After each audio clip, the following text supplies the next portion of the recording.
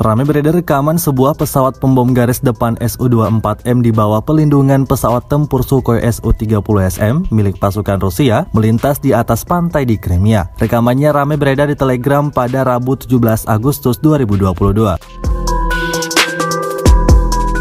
Diketahui pesawat tempur itu kembali menuju Novofidorovka setelah menyelesaikan misi tempur mereka. Novofidorovka atau Novofidorovka adalah pemukiman tipe perkotaan dan pangkalan udara militer di pantai Laut Hitam di Sakirayun di Crimea Barat. Tampak peristiwa itu disaksikan langsung oleh wisatawan yang sedang berjemur di pantai saat itu juga. Rusia merilis secara total 267 pesawat Ukraina dan 148 helikopter, 1743 kendaraan udara tak berawak, 365 sistem rudal anti pesawat dieliminir sejak awal operasi khusus.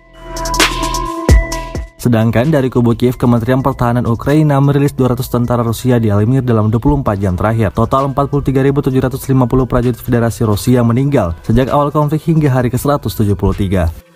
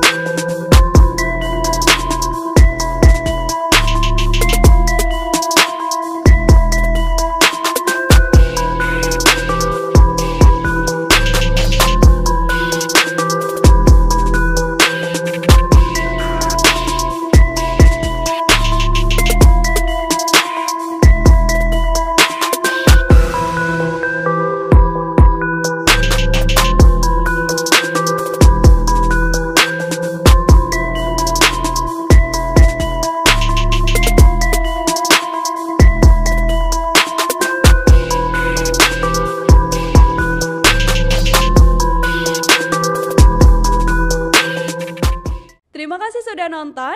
Jangan lupa like, subscribe, dan share ya.